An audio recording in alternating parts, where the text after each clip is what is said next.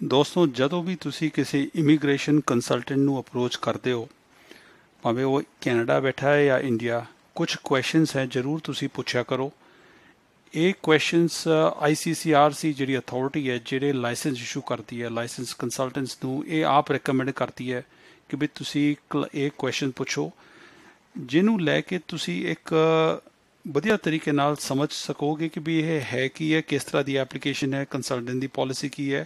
It will help you choose the best consultant ਤੁਹਾਡੇ ਕੋਲ ਜਿਹੜਾ ਬੈਸਟ ਕੰਸਲਟੈਂਟ ਤੁਹਾਡੇ ਜਿਹੜੇ ਸਿਚੁਏਸ਼ਨ ਨੂੰ ਸਮਝ ਸਕਦਾ ਹੈ ਉਹ ਤੁਹਾਨੂੰ ਮਤਲਬ ਇਸ ਕੁਐਸਚਨ ਰਾਹੀਂ ਤੁਹਾਨੂੰ ਪਤਾ ਲੱਗ ਜਾਏਗਾ ਐਂਡ ਆਫ ਕੋਰਸ ਤੁਹਾਡੇ ਕੇਸ ਵਿੱਚ ਕੁਝ ਫਰਾਡ ਵਗੈਰਾ ਹੋਣ ਦੀ ਗੁੰਜਾਇਸ਼ ਘਟ ਜਾਏਗੀ। ਸੋ ਕੁਐਸਚਨਸ ਕਿਹੜੇ ਕਿਹੜੇ ਆ ਆਪਾਂ ਦੇਖ ਲੈਂਦੇ ਆ ਇਹ ਇਹਨਾਂ ਦੀ ਵੈਬਸਾਈਟ ਦਿੱਤੇ ਹੋਏ ਆ, ਬਾਕੀ ਮੇਰੇ ਕੋਲ ਕੋਈ ਸੀਕ੍ਰੀਟ ਨਹੀਂ ਹੈ it's all on the website ਕੁਝ ਕੁਐਸਚਨਸ ਮੈਂ ਦੇਖ ਲੈਣਾ ਨੰਬਰ 1 ਕੁਐਸਚਨ ਹੈ ਕਿ ਤੁਹਾਡੇ ਕੋਲ ਐਕਸਪੀਰੀਅੰਸ ਕਿੰਨਾ ਹੈ? ਕੰਸਲਟੈਂਟ ਸਾਹਿਬ, ਤੁਸੀਂ ਕਿੰਨੇ ਸਾਲ ਤੋਂ ਇਹ ਕੰਮ ਕਰ ਰਹੇ ਹੋ? ਕਿੰਨਾ ਤੁਹਾਡਾ ਇਮੀਗ੍ਰੇਸ਼ਨ ਐਕਸਪੀਰੀਅੰਸ ਹੈ? ਕਿਹੜਾ ਤੁਹਾਡਾ ਸਪੈਸ਼ਲਾਈਜੇਸ਼ਨ ਏਰੀਆ ਹੈ? ਫਰਜ਼ ਕਰੋ ਤੁਸੀਂ ਸ਼ਾਇਦ ਪੀਐਨਪੀ ਕਰਦੇ ਹੋ ਜਾਂ ਵਰਕ ਪਰਮਿਟ ਕਰਦੇ ਹੋ ਜਾਂ PR express entry investor visa form whatever ਜੋ ਵੀ ਤੁਹਾਡਾ ਐਕਸਪੀਰੀਅੰਸ ਹੈ, ਜੋ ਸਪੈਸ਼ਲਾਈਜੇਸ਼ਨ ਹੈ, ਉਹ ਪਲੀਜ਼ ਦੱਸ ਦਿਓ। What kind of clients have you served ਕਿਸ ਤਰ੍ਹਾਂ ਦੇ ਕਲਾਇੰਟਸ ਤੁਸੀਂ ਜ਼ਿਆਦਾ ਡੀਲ ਕਰਦੇ ਹੋ? ਜੇ ਜੇਕਰ ਤੁਹਾਨੂੰ ਲੱਗਦਾ ਹੈ ਕਿ ਉਸ ਐਕਸਪੀਰੀਅੰਸ ਦਾ ਜੋ ਜੋ ਉਹਨਾਂ ਕੋਲ ਐਕਸਪੀਰੀਅੰਸ ਹੈ, ਉਹ ਤੁਹਾਡੇ ਜਿਹੜੇ ਐਪਲੀਕੇਸ਼ਨ ਦੇ ਬੈਕਗ੍ਰਾਉਂਡ ਨਾਲ ਮੈਚ ਕਰਦਾ ਹੈ ਤੇ ਫਿਰ ਤੁਸੀਂ ਦੁਬਾਰਾ ਪੁੱਛ ਸਕਦੇ ਹੋ ਕਿ how long will the process take ਕਿੰਨਾ ਕਿੰਨਾ ਟਾਈਮ ਲੱਗੇਗਾ, ਕਿਸ ਤਰ੍ਹਾਂ ਦੇ ਇਸ਼ੂਜ਼ ਆ ਸਕਦੇ ਨੇ ਇਸ ਐਪਲੀਕੇਸ਼ਨ ਵਿੱਚ ਤੇ ਪੋਸੀਬਲ ਆਊਟਕਮ ਕੀ ਹੈ। ਅਗਲਾ ਇਹਦੇ ਨਾਲ ਵੀ, ਇੱਕ ਨਾਲ ਉਹ ਜੁੜਿਆ ਹੋਇਆ ਕਿ ਜੇਕਰ ਤੁਸੀਂ ਰਿਫਿਊਜ਼ ਹੋ ਗਏ ਹੋ ਪਹਿਲਾਂ, ਤੇ ਰਿਫਿਊਜ਼ਲ ਪਹਿਲਾਂ ਡਿਸਕਸ ਕਰੋ ਕਿ ਰਿਫਿਊਜ਼ਲ ਕੰਸਲਟੈਂਟ ਸਾਹਿਬ ਰਿਫਿਊਜ਼ਲ ਦੇ ਬਾਰੇ ਦੱਸੋ ਕਿਉਂ ਰਿਫਿਊਜ਼ਲ ਹੋਇਆ, ਮੇਰਾ, ਤੁਹਾਡੀ ਕੀ ਸਟ੍ਰੈਟਜੀ ਹੈ, ਕਿਸ ਤਰ੍ਹਾਂ ਰੀਅਪਲਾਈ ਕਰਨਾ, ਵਗੈਰਾ ਵਗੈਰਾ। ਸੋ ਦੇ ਇਹ ਬਹੁਤ ਮੇਜਰ ਜੋ ਸਵਾਲ ਹੈ ਵੀ ਰეკਮੈਂਡ ਕਿ ਵੀ ਕੰਸਲਟੈਂਟ ਨੂੰ ਪੁੱਛਣਾ ਚਾਹੀਦਾ। ਹੋਰ ਦੇਖਦੇ ਹਾਂ ਹੋਰ ਕਿਹੜੇ ਕਿਹੜੇ ਸਵਾਲ ਹੈ। ਇਹ ਸਾਰੇ ਇਹਨਾਂ ਦੀ ਵੈਬਸਾਈਟ 'ਤੇ ਦਿੱਤੇ ਹੋਏ ਆ। ਐਪਲੀਕੇਸ਼ਨਸ ਜੋ ਕਰਨੀ ਹੈ, ਤੁਸੀਂ ਕਿੰਨੇ ਪੈਸੇ ਲੋਗੇ ਕਿੰਨਾ ਪੈਸਾ ਪਹਿਲਾਂ ਲੋਗੇ ਕਿੰਨਾ ਬਾਅਦ ਵਿੱਚ ਲੋਗੇ ਡਿਪੋਜ਼ਿਟ ਕਿੰਨਾ ਪੇ ਕਰਨਾ ਪਏਗਾ,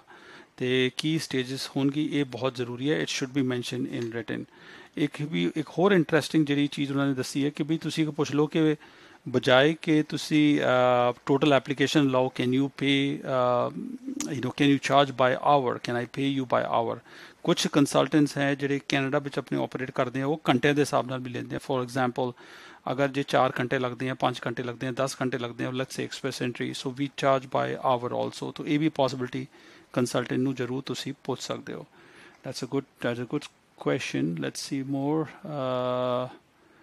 um sorry we just skipped by ਹਾਂ ਇੱਥੇ ਦੇਖਦੇ ਹਾਂ ਸ਼ਾਇਦ ਹੋਰ ਵੀ ਕੁਐਸਚਨਸ ਲਿਖੇ ਹੋਏ ਹਨ yeah yeah go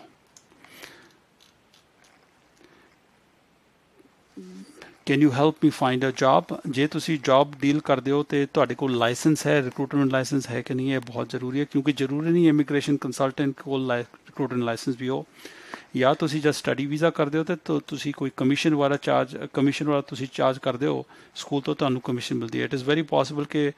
ਕਿਉਂਕਿ ਤੁਹਾਡੀ ਜਿਹੜੀ ਰეკਮੈਂਡੇਸ਼ਨ ਹੋ ਮੇਰਾ ਕਾਲਜ ਐਡਮਿਸ਼ਨ ਦਾ, ਉਹ ਤੁਹਾਡੇ ਕਮਿਸ਼ਨ ਦੇ ਬੇਸ 'ਤੇ ਹੋ not not based on what my requirement ਹੈ ਸਮਟਾਈਮਸ ਕਈ sometimes you know consultants will send you to colleges ਜਿੱਥੇ ਮਤਲਬ ਉਹਨਾਂ ਨੂੰ ਕਮਿਸ਼ਨ ਮਿਲਦੀ ਹੈ। ਹੋ ਸਕਦਾ ਕਿ ਉਹਨਾਂ ਕੋਲ ਕੋਰਸ ਹੀ ਤੁਹਾਡੇ ਮੁਤਾਬਿਕ ਨਾ ਹੋ ਲੇਕਿਨ ਫਿਰ ਵੀ ਤੁਹਾਡਾ ਐਡਮਿਸ਼ਨ ਕਹਿੰਦੇ ਤੁਸੀਂ ਇੱਥੇ ਐਡਮਿਸ਼ਨ ਕਰ ਲਓ so they are working on their own interest ਨਾ ਨਾ ਤੁਹਾਡੇ ਬਾਰੇ ਫਾਇਦਾ ਦੇਖ ਕਰ so let's see what other questions we have here yeah we have already done pay by hour so we have already done this uh, a bhi ho gaya help me find a job that's a good question to ask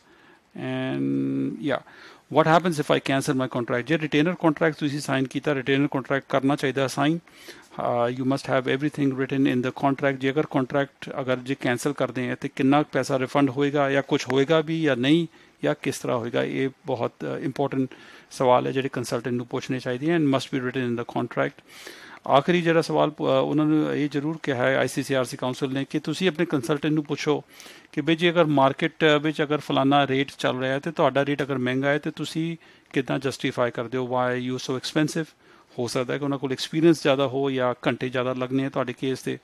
ਜਾਂ complexity ਹੋ ਸਕਦੀ ਹੈ ਜਾਂ ਹੋਰ ਕੋਈ professional services ਜਿਸ ਤਰ੍ਹਾਂ ਕੋਈ ਟ੍ਰਾਂਸਲੇਸ਼ਨ ਨੋਟਰਾਈਜ਼ ਜਾਂ ਅਸੈਸਮੈਂਟ ਵਗੈਰਾ ਹੋਰ ਕੁਝ ਐਕਸਟਰਾ ਕਰਨਾ ਹੈ, ਤਾਂ ਕਰਕੇ ਫੀਸ ਜ਼ਿਆਦਾ ਹੋ ਸਕਦੀ ਹੈ। ਸੋ ਇਹ ਸਾਰੇ ਕੁਐਸਚਨਸ ਹੈ, ਜਰੂਰ ਤੁਸੀਂ ਆਪਣੇ ਕੰਸਲਟੈਂਟ ਨੂੰ ਪੁੱਛੋ।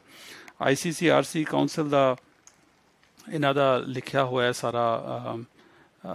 ਐਡਰੈਸ ਵਾਲਾ ਵੀ ਲਿਖਿਆ ਹੋਇਆ ਹੈ। ਤੁਸੀਂ ਅਗਰ ਜੇ ਉਹਨਾਂ ਨੂੰ ਕੰਟੈਕਟ ਕਰਨਾ ਹੈ ਤੇ ਕਰ ਸਕਦੇ ਹੋ। ਕੁਝ ਹੋਰ ਹੈਲਪਫੁਲ ਟਿਪਸ ਕਾਉਂਸਲ ਦੱਸ ਰਹੇ ਹਨ ਕਿ ਤੁਸੀਂ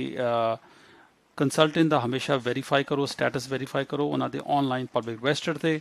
ਡਿਸਪਲਿਨਰੀ ਨੋਟਿਸ ਹੈ, ਅਗਰ ਕੋਈ ਨੋਟਿਸ ਹੈ, ਕਈ ਵਾਰ ਨੋਟਿਸ ਹੁਣ ਡਿਸਪਲਿਨਰੀ ਕੋਈ ਐਕਸ਼ਨ ਲਿਆ ਜਾ ਰਿਹਾ ਹੈ ਕੰਸਲਟੈਂਟ ਦੇ ਖਿਲਾਫ, ਉਹ ਚੈੱਕ ਕਰਾ ਕਰੋ ਕਿ ਕੋਈ ਕੋਈ ਕੰਪਲੇਂਟ ਨਹੀਂ ਹੈ।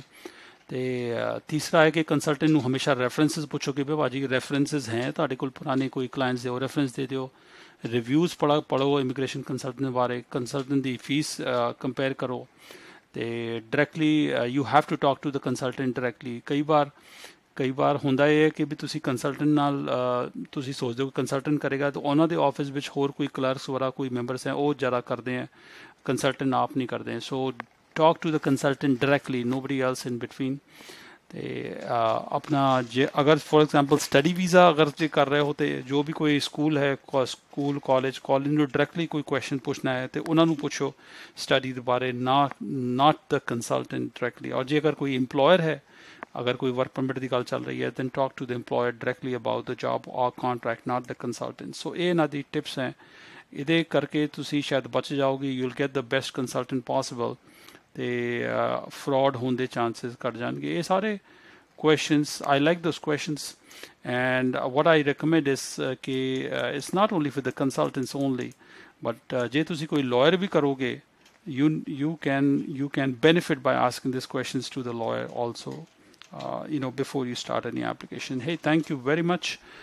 ਤੇ ਆਪਣੇ ਕਮੈਂਟਸ ਜ਼ਰੂਰ ਤੁਸੀਂ ਦਿਓ ਉਹਦੇ ਬਾਰੇ ਅਗਰ ਦੇ ਸਕਦੇ ਹੋ ਤੇ I do read all the comments but I not necessarily answer them ਕਈ ਵਾਰ ਲੋਕ ਮੈਨੂੰ ਵੀ ਪੁੱਛਦੇ ਆ ਭਾਜੀ ਤੁਸੀਂ ਮੇਰਾ ਸਵਾਲ ਦਾ ਜਵਾਬ ਦਿੱਤਾ ਨਹੀਂ ਫਿਰ ਮੈਂ ਉਹਨਾਂ ਨੂੰ ਕੀ ਦੱਸਾਂ ਕਿਉਂਕਿ ਉਹ ਨਾਰਮਲੀ ਉਹੀ ਸਵਾਲ ਪੁੱਛ ਰਹੇ ਜਿਹਦਾ ਜਵਾਬ ਪਹਿਲਾਂ ਮੈਂ ਦੇ ਚੁੱਕਿਆ